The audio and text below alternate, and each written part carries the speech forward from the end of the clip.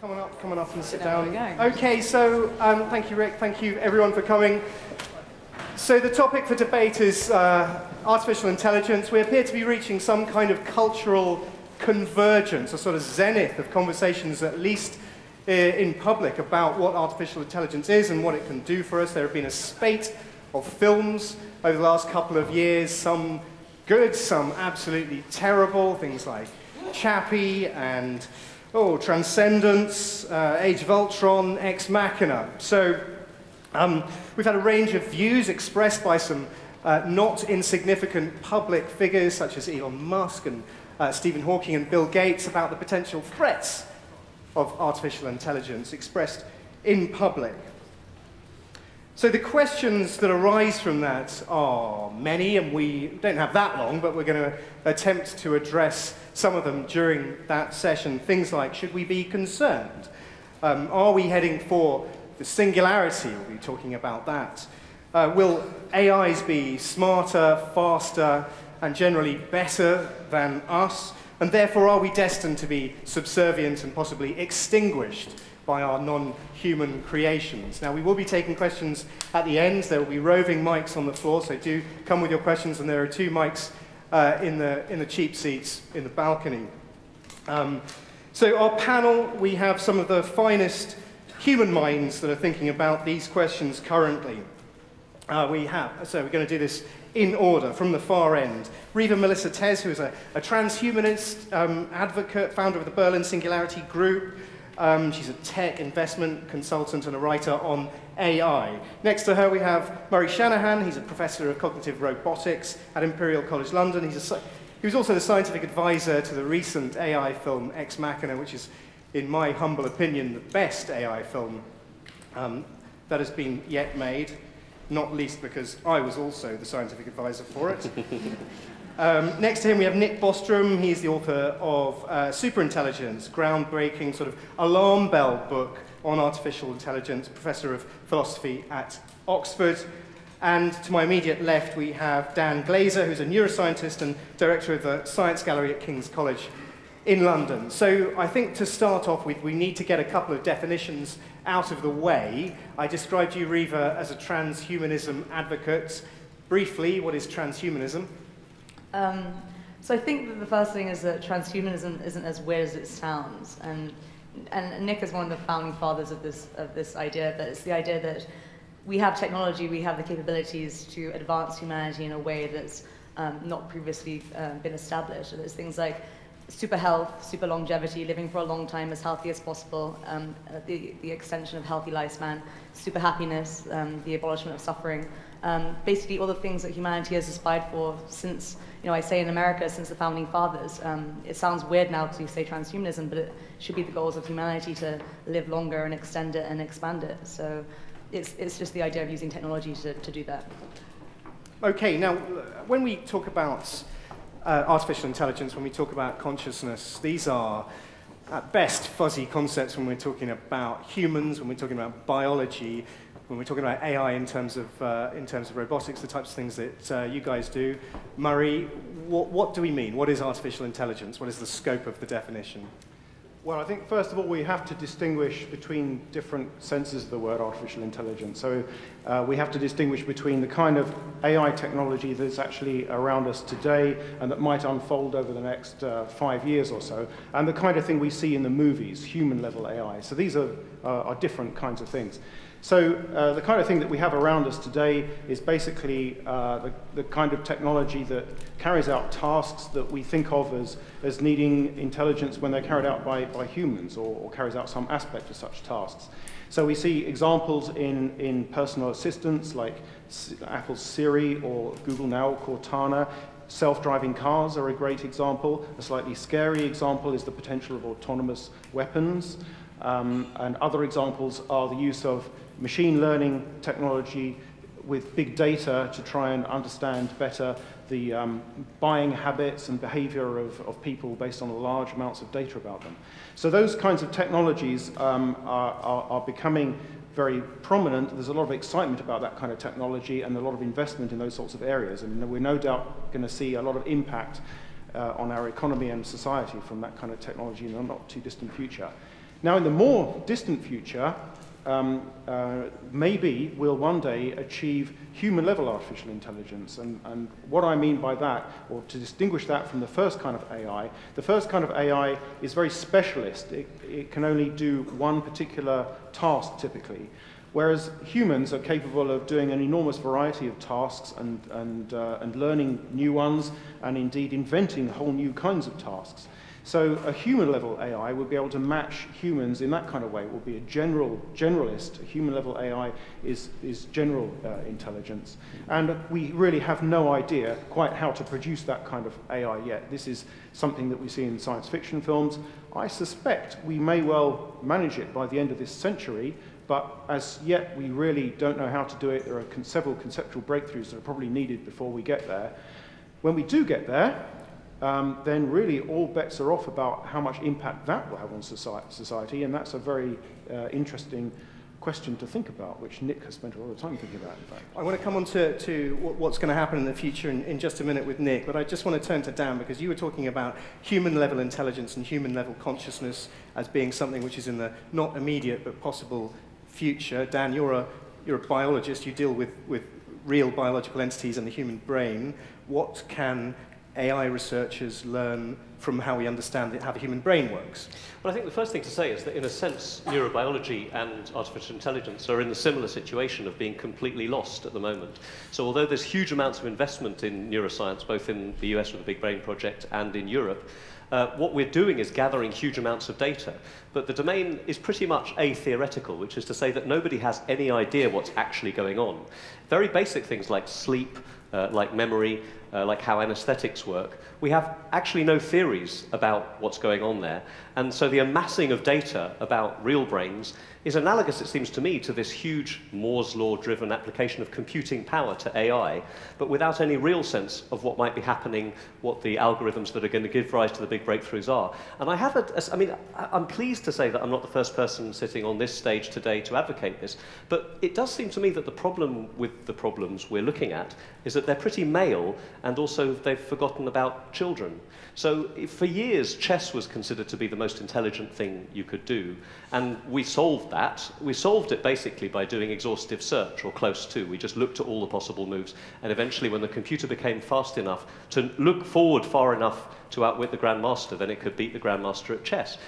But computers are still stupid. And in fact, the things that computers find easiest to do are the things that we learn as adults and the thing that men, things that men are good at, warfare, uh, you know, running corporations, this kind of planning transport systems. Uh, what they're not good is the things that uh, children are good at. So uh, generating learning environments, there's a very famous experiment with mothers and daughters. Right? It's called the tongue protrusion test.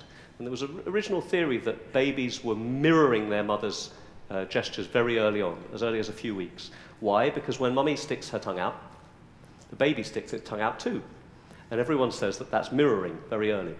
It turns out that the kid is not mirroring the mother, because if the mother goes, mm, then the kid sticks its tongue out. So what it's doing is expressing its excitement at being stimulated by sticking its tongue out, and the mother misreads that as mirroring and therefore spends lots of time nurturing the child. And babies are very good mechanisms for generating learning environments from the people around them.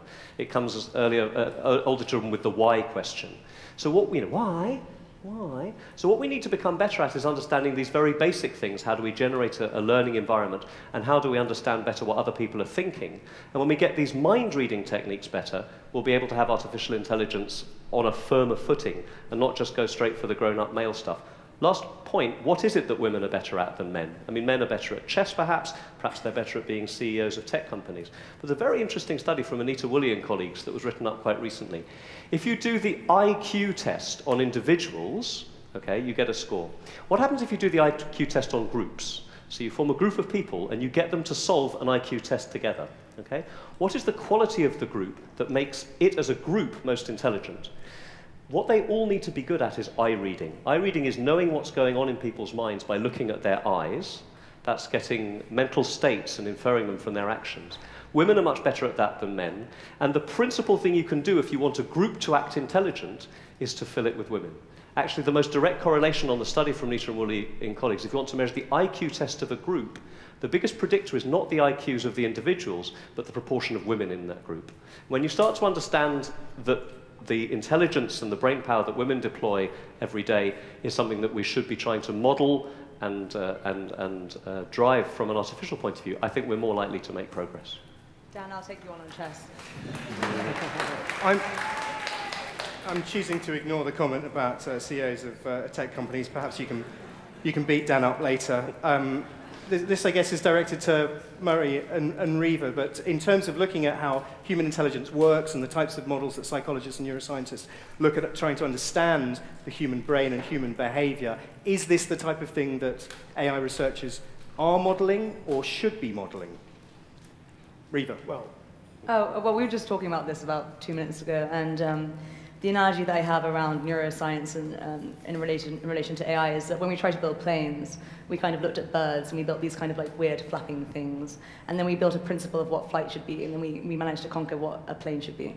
And I kind of think the same. I mean, I think the understanding and mapping the brain is a very valuable thing, but the um, the kind of non-domain specific principle of intelligence hasn't quite been conquered yet. And if we can find something that's not neurospecific, I mean, we're, we're all so different in our you know, neuro makeup. And um, the way that AI is being done is we're following such traditional recipes. We're looking at the brain, we're looking at like deep learning or reinforcement learning plus some part of the brain. And um, I think I agree with Murray and, and some of the people on the panel that it might be some real outlier view that, that actually cracks AI. Because um, it's, not, it's not like anything that's ever been done before. We don't have a, a true definition of what intelligence is. But do we have enough of an understanding of human consciousness to even model it in experimental circumstances, let alone create artificial versions? Uh, well, first of all, I think we should, we should be very clear about distinguishing between consciousness and intelligence because they're not the same thing. We can easily imagine building an artifact which is, can behave in a very intelligent way and perhaps doesn't have consciousness, and conversely, we, we have plenty of, of conscious uh, creatures in the world who are uh, certainly conscious and capable of suffering, for example, but not necessarily that intelligent compared to humans. So they're, they're very different things. But if I could just respond to, uh, to Dan's earlier uh, remarks, so cer certainly I think you're absolutely right um, and agree with everything you said. Um, uh, but uh, in defense of, of, of, AI, I should point out that it's a vast subfield of artificial intelligence. There's epigenetic robotics, or developmental robotics, as it's so called.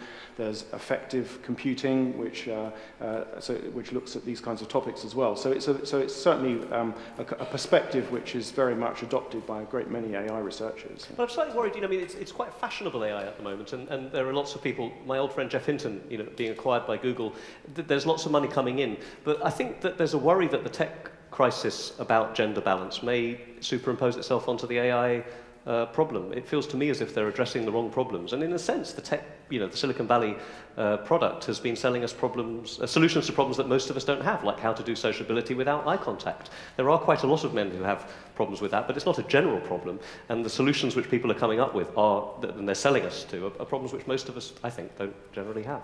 Nick, Murray talked about uh, the immediate future, but also the long-term future. Your, your, your, book is largely about what possibly could happen and the things that people like Elon Musk and Stephen Hawking have been worried about in public. What do you think is going to happen? Well, I think that AI will gradually uh, grow in capabilities, perhaps slowly and incrementally uh, at first, and perhaps for a long time, but at some point we will figure out um, the basic algorithms that generate general intelligence in humans, the same powerful learning algorithms that enable us to learn not just one job, but any job. Uh, the same powerful planning algorithms that make it possible for us to tackle like almost universal um, set of problems. Um, so once we have that sorted out, I think then we will have machines that are human level general intelligent and I'm quite agnostic as to how far we are from that point. That, uh, I, in fact, I think nobody really has any uh, good evidence for predicting that this will or will not happen by any very specific date. We did a survey of some of the world's leading AI experts two years ago, and one of the questions we asked there was, by what year do you think there's a 50% probability that we will have human-level machine intelligence? And the median answer to that was 2040 or 2050, depending on precisely which group. But with a large uncertainty on either side, it could happen much sooner or much later. But if and when we do reach that point, I think we will soon thereafter have superintelligence, the machines that are not just slightly better at us at some tasks, but that radically outperform us across all complex intellectual domains, much like we outperform the chimpanzees or, or like the rabbits. Um, and so with that kind of enormous intelligence comes the potential for enormous power. With that intelligence, you could reach technological maturity quickly, doing the inventing and the science on digital timescales. And so um, this transition to the machine intelligence era, I think, um, has the potential to be a pivotal moment in human history, perhaps the most important event that will ever have happened on, on this planet. And, and the, the ultimate outcome might depend, in some scenarios, quite sensitively on the precise initial conditions, the exact design of the first uh, entity that achieves the superintelligence. Do you think it is the accumulation? I mean, you, you sort of uh, you, you, alluded to it just a minute ago, but is it is it? Uh, Riva talked about how how um, you know. Uh, we can build AIs that are very good at chess, but the transferable learning and deep learning is not something that AIs are really capable at the moment. Is the main barrier that we need to accumulate uh, various skills and various intelligent behaviors into one entity? I, I think it's more likely that there is one or a small number of fundamental tricks that maybe you need to flesh out with a lot of details, but a relatively limited set of basic mechanisms that generate intelligence in humans. Um, AI used to be, um, back in the 50s and 60s and 70s, really about programmers putting commands in a box. as you would hard code facts or features, and then the AI could perform some simple inferences on that. Uh, and these systems were useful for some limited purposes, but they didn't scale. They were very brittle. If you put in one wrong thing, the whole thing just turned out nonsense. But today, AI is really much more about learning. Um, it's about designing algorithms and computational architectures that from raw perceptual data, like just pixels on a screen, let us say a large data set, can themselves figure out uh, what the relevant features are, build out complex representations, and, and learn to detect patterns in this. Um, and I think it's this kind of uh, learning AI that is most likely to eventually reach human level. But I'm sure it feels very much to me as if you're attacking the problem at the wrong end, because it's not, it doesn't seem to me plausible either that there are a small number of simple algorithms which, if we find them, will get intelligence, or that what we need to do is have more and more powerful systems to do it. I mean, one of the really striking things about humans, more than chimpanzees, is how helpless we are for so long after we're born. And it seems to me that the reason for that is because we are constructing the architecture of the machine, if you want to call it a machine, through experience. The idea that you have a big purpose, um, you know, off-the-shelf uh, computing machine with huge amounts of, of bits and bytes and lots of inputs, and that will run an algorithm that will make us intelligent is fanciful. We need basic experience. We need to build it from the bottom up in terms of learning. And, and it's this uh, helplessness in the face of the world which we need to study first. Once we've understood how that gives rise to the thinking machine, then we can look at the algorithms that impinge. It sounds like you could reply, reply briefly. Yeah, I mean, it sounds like you're agreeing. So the basic idea with the learning algorithm is that it starts out helpless, and then after you learn, you, you become competent, uh, just like a human child does. So you don't start out with all of these skills there, but you start out with the ability to acquire those skills. That's what learning is. Uh, in terms of what uh, AI researchers are doing currently, Murray, this is a question for you.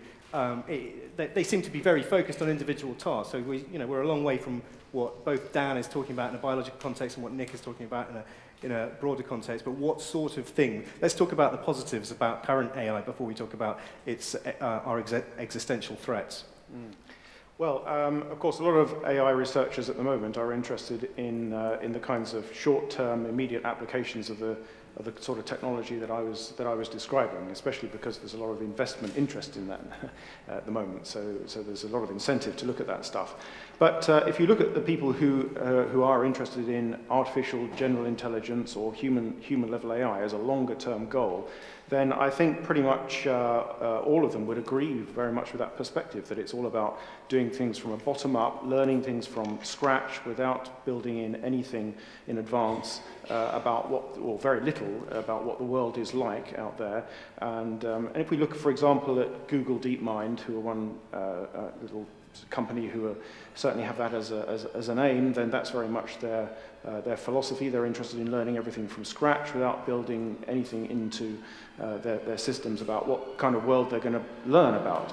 At the moment, they're still looking at somewhat toy examples, but, but if you take that into, a, into a, um, the kind of domain that a, a human child or, an, uh, or a young animal has to deal with, then I think that's the right, okay. the right kind of approach. Okay, look, we, I think we've pretty much sorted this entire field out in the 20 minutes that, that we've had, but um, if, if there are any questions, stick your hand up and a microphone will come to you if you're on this floor. Um, so I can see there's one there. If you're in the balcony, then go to the microphone. Um, let's, uh, let's take a couple of questions, and then I want to just briefly ask all, the whole panel about um, existential threats, as, as is the title. Hi there. Uh, David Benigson from a company, big data company called Signal. Um, I just wanted to know um, what you guys thought about the role that ethics plays in all of this. Obviously, you're talking about such a major impact that this technology in this field can have on the world, and I, I know that DeepMind incorporated an ethics board into their, into their company after they were acquired, so I just wanted to hear a little bit about your thoughts on that. Who wants to have a go at ethics? Because that's a really easy subject. Riva. I, I mean, I'm just going to say that the three of us, for sure, were at the, um, there was a big AI safety conference at the beginning of this year. AI safety has become one of the most prominent areas of AI research, I think, right now. It's, we're thinking about ethics more than we are thinking about the first principles of building it, I think. Um, I think that Nick has done an amazing job at bringing attention to that, and definitely with, with the guys at DeepMind and etc.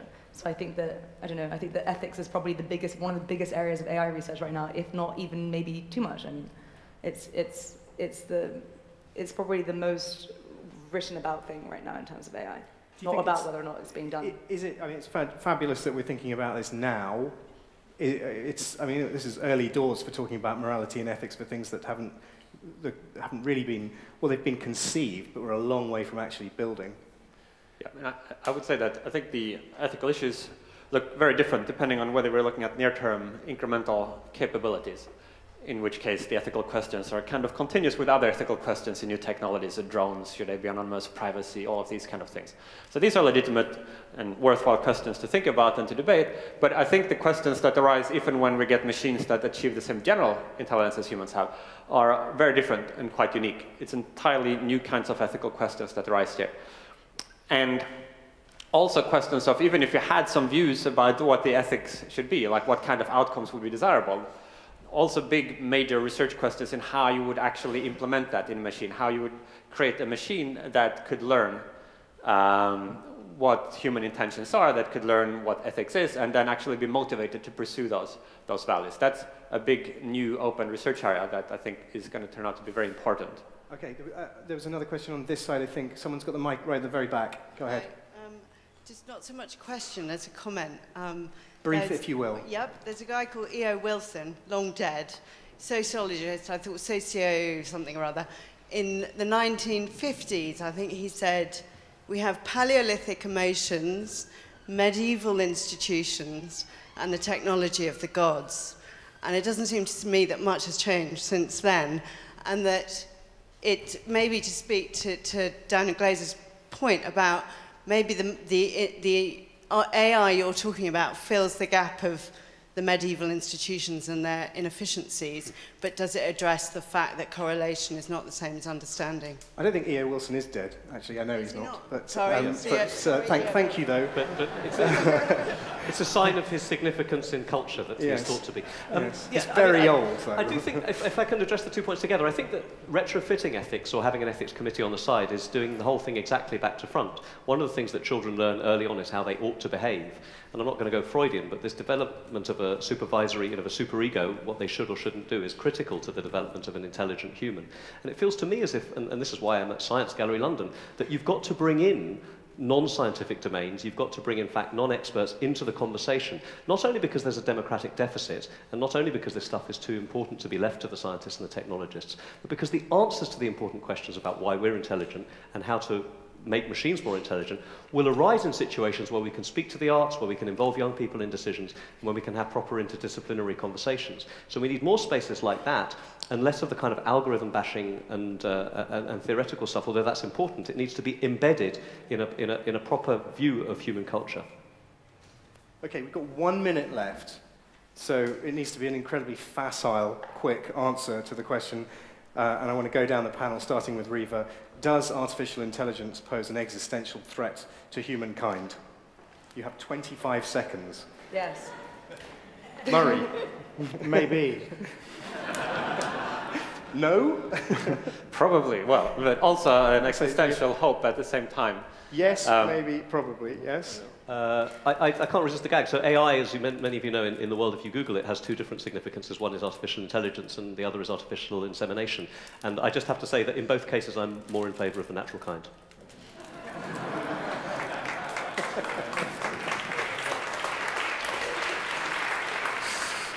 All right. Well, that's uh, as I say. I think we've really sorted that whole issue out. So, well, you guys can just stop working and retire from now on. So, if you could just, uh, I could just thank the panel, um, Dan Glazer, Nick Bostrom, uh, Murray Shanahan, and Reva Melissa Tez. Thank you very much.